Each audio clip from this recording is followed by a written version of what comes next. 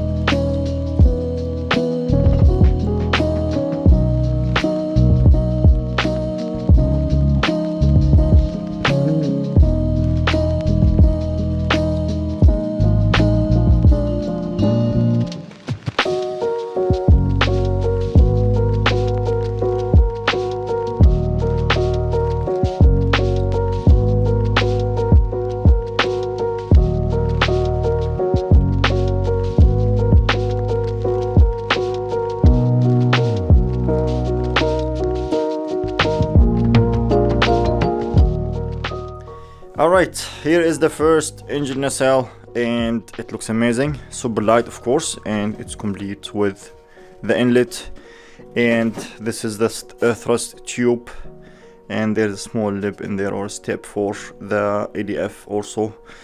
And of course I broke one part of the mold. It's a bit tricky to take it out of the mold especially because of this here. Anyways, one survived, I will print another one and I still have to make three more Alright, this is the engine nacelle and it turned out so nice. Uh, it's 110 grams exactly and they're super light, just one layer of carbon fiber. And of course the inlet is inside in here. And uh, you guys saw me uh, 100 times casting and so I thought I'll just skip ahead and I have four of them done now plus four thrust tubes are ready. And so now it's time to bring out the EDFs uh, show them to you guys and try to fit them inside the nacelles. All right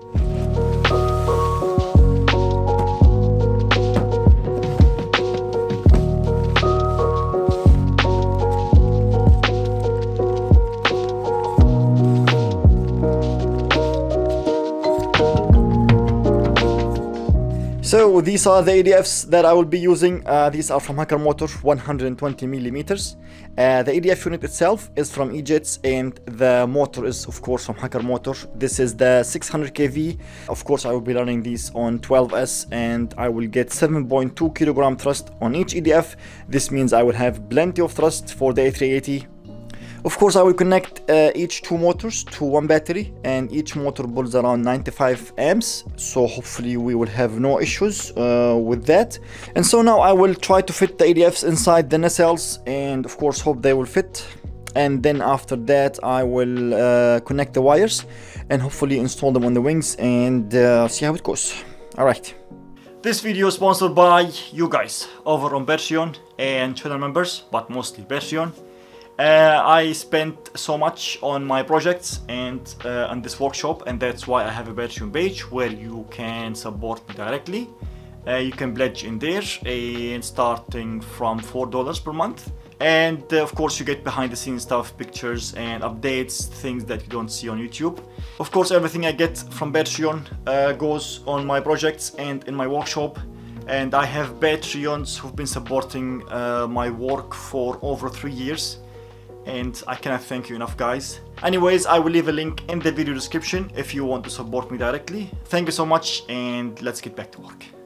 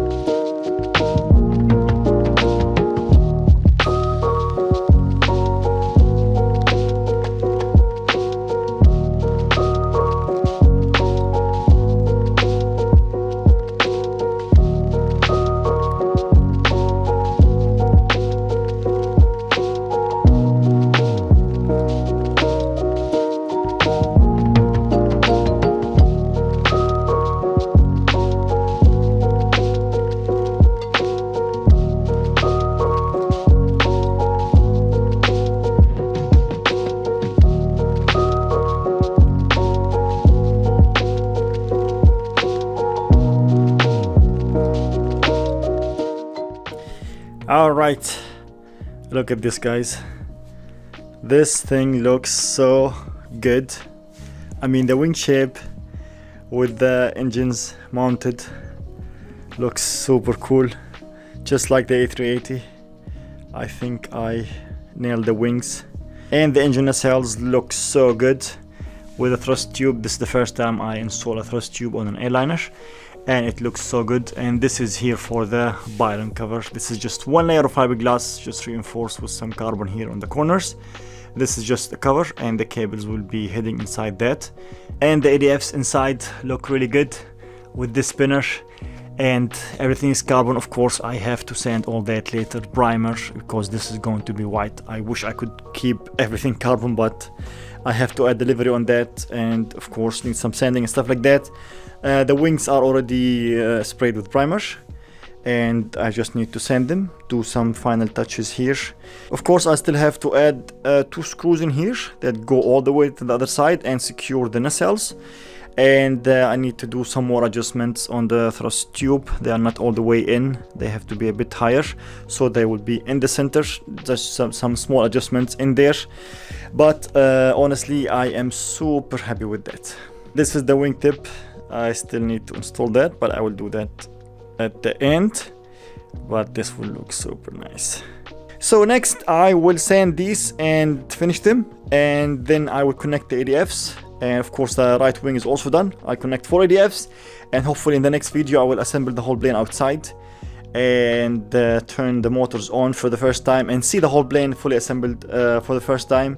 I'm expecting some uh, crazy thrust coming out of these EDFs and here are the flaps are done and they look really good. I just need to sand them and install them. This one is going to be cut in half so I'll have three flaps in here but this is going to look so cool.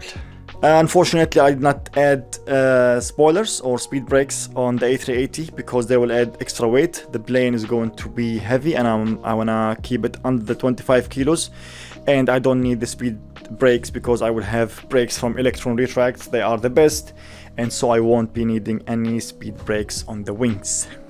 Alright, uh, enough for this video. Uh, in the next one I will be making the main landing gear and I got all the retracts and bars and wheels uh, from Electron Retracts and I'm so excited to start doing that. This means the airplane will be almost complete so I can fully assemble it outside, drag it and maybe turn the EDFs on because I still have to install all the electronics and stuff inside the fuselage. So, thank you so much for watching, um, subscribe if you're not and I will see you in the next video. Bye bye.